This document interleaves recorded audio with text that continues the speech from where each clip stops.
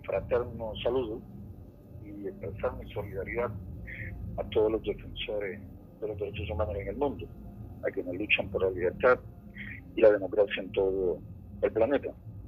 Mi saludo, mi solidaridad y mi respeto para los que sufren persecución, prisión, torturas, golpiza, hambre, enfermedades por defender los derechos humanos y la democracia.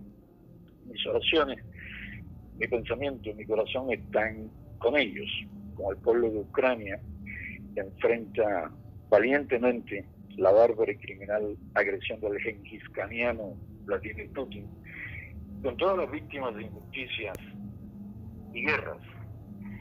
Mis oraciones, mi pensamiento y mi corazón están con mis hermanos, los presos políticos y de conciencia y sus familiares en nuestro país, pero también con los de Venezuela, Nicaragua, Bolivia, Irán, China, Rusia, Bielorrusia, Myanmar y en otros pueblos que sufren bajo criminales iraníes.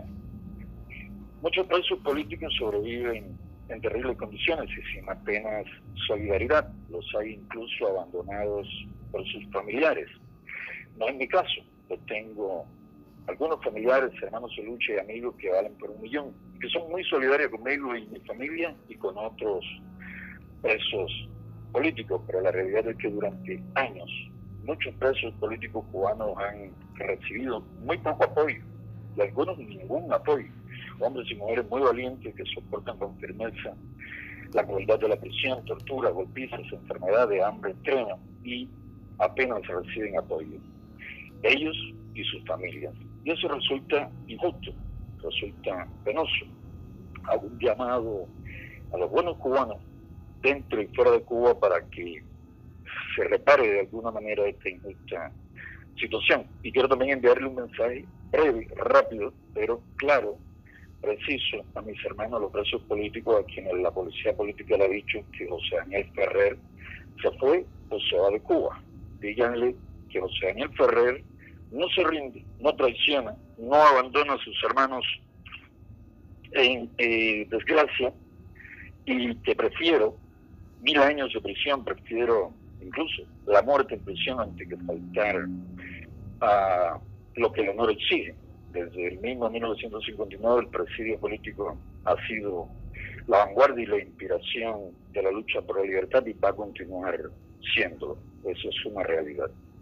Mucho deseo que el 2023 sea un año positivo para los derechos humanos en el mundo, un año de avance en cuanto a libertad, a democracia y de retroceso para las dictaduras y sus crímenes, un año que traiga mayor libertad, justicia, progreso y cuidado del medio ambiente en todo el mundo, un año de mayor solidaridad del Occidente con el pueblo cubano y con todo pueblo oprimido. Resulta penoso el silencio, la falta de solidaridad de gobiernos occidentales ante las graves violaciones a los derechos humanos en Cuba. Resulta incomprensible la postura de gobiernos occidentales hacia la peor dictadura que ha conocido el hemisferio occidental, dictadura aliada de los peores enemigos del Occidente y de la libertad, aliada de Rusia, China, Corea del Norte, Irán, Siria, dictadura que no oculta su odio al modelo democrático occidental, único modelo verdaderamente democrático, y su rechazo a la mayoría de las políticas de la Unión Europea, Reino Unido, Noruega, Canadá y Estados Unidos. Una tiranía que logró hacer de Venezuela, Bolivia, Nicaragua, con sus mañas lo que Putin no ha podido hacer con Ucrania, usando su enorme poderío militar. Un régimen que ha causado mucho daño a los derechos humanos y la libertad en toda Latinoamérica. Una tiranía que critica y calumnia todo el tiempo Occidente y que mira con mejores ojos al régimen talibán que al Parlamento Europeo. Y quien crea que exagero, que mire la televisión del régimen o que investigue lo que le enseñan a los estudiantes en clases. Esperemos que cambien para bien muchas cosas en el 2023, en Cuba y en el mundo. Trabajemos, luchemos para que eso suceda. Eh, por otro lado, quiero expresar mi sentir sobre esta eh, situación verdaderamente infame. Todos sabemos que la tiranía no solamente nos encarcela, golpea y tortura por nuestra lucha pacífica a favor de los derechos humanos, la democracia y el bienestar de nuestro pueblo. También acosa, hostiga, persigue, golpea a nuestros familiares más cercanos, persigue, golpea y trata de terrorizar a nuestros hijos, esposas, madres. Mi suegra falleció hace una semana, cuando estaba agonizando en un hospital santiaguero, un esbirro de la policía política que se hace llamar Julio Fonseca, quiso aprovecharse de una situación tan dolorosa como esta para eh, ver cómo paralizaba o sacaba algún beneficio ¿no? de la familia y mi sacrificada y valiente esposa, la doctora, la doctora Nelva y María Ortega. Ella al recibir este tipo de comunicación y de amenaza, pues respondió con la firmeza que le caracteriza. Este infame represor le dijo, no te quedes cuando no hay oxígeno o suero para tu madre. Y aunque parezca o pueda parecer que es una cuestión aislada, pues no lo es. Esta es una situación que emplean, que usan mucho los agentes del régimen. No es un caso aislado, es una política oficial de los órganos represivos que sostienen a la dictadura, que es muy amplio el infame historial de agentes y médicos a su servicio que usan la salud de opositores y familiares eh, de opositores para conseguir sus eh, objetivos falsifican diagnósticos médicos, contagian con enfermedades, niegan tratamientos y hasta matan. La historia ahí está, y sabemos de muchos casos. Eh, necesito que me pongan en mi cuenta en Twitter estos dos mensajes. Mi solidaridad con Luis Fernando Camacho, gobernador de Santa Cruz, víctima de la persecución de los neocomunistas del MAS en Bolivia. Mi solidaridad con Yanine Áñez y todos los presos políticos en esa hermana nación falleció el rey del fútbol, el mejor futbolista de todos los tiempos, Edson Arantes de Nacimiento. Pelé fue también ministro de deporte de su país. Mis condolencias a su familia y al pueblo brasileño. Oye, eh, de las tres tarjetas, dos no sirven. La que sirve es la que tiene eh, como número 23 17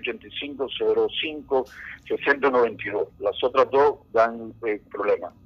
Hay, hay una que, que es la que estaba dando problemas. Yo recargué dos. Yo te voy a hacer llegar mañana. Te lo... Bueno, bueno, si por esa última es la única que dice que tiene que tenía 20 pesos, la demás no funciona. No. Eh, ¿Cómo anda la cosa? Rápido, en dos minutos, ¿qué es lo que nos queda?